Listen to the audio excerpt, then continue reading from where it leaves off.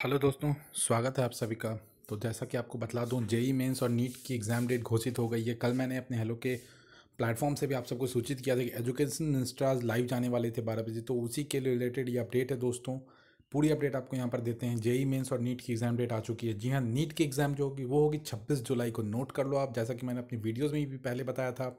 Other channel पर भी कि 20 जुलाई के बाद पॉसिबल है। और देखो, वही हुआ है 26 जुलाई का डेट निकल कर आया है। और मेरे जो जेई मेंस के दोस्त हैं, उनके लिए 19 जुलाई से 23 तक की बात की गई है।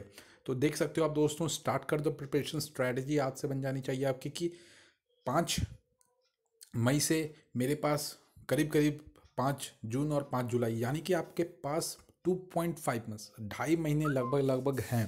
तो आपकी प्रिपरेशन अभी और डबल हो सकती है। जितनी चीज़ें आपने रिवाइज की, उसको आप बूस्टअप कर सकते हो। छब्बीस जुलाई को परीक्षा है तो बैठा लो यार और अच्छे से प्रिपरेशन करो। अपडेट्स आपको हमारे चैनल के थ्रू मिलती रहेंगी। आई होप आपको ये डिटेल पसंद आएगा वीडियो ज़्यादा ज़्यादा शेयर करो। सबसे पहले आपको ये बतला रहा हूँ। मिलते हैं नई वीडियो में। धन्यवाद।